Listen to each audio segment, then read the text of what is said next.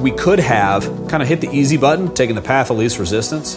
gone to some of our mid efficiency products, which are larger, more expensive units, and re rated them down to the new efficiency standard. We think there are some manufacturers that are going to take that approach. And so they're going to see bigger systems, less optimized combinations, and really a, a more challenging product to handle, install, sell to the homeowner. We didn't want to do that. We saw this as another opportunity, kind of a, a, a sea change that Rheem could take advantage of by investing into new product design, new technology, new manufacturing uh, capabilities to really optimize these new systems for the new standard so that we have the smallest units possible, the best system combinations that are going to make them easier to install, and really some really exciting new diagnostic and, and uh, commissioning features that are going to make life easier on the contractor.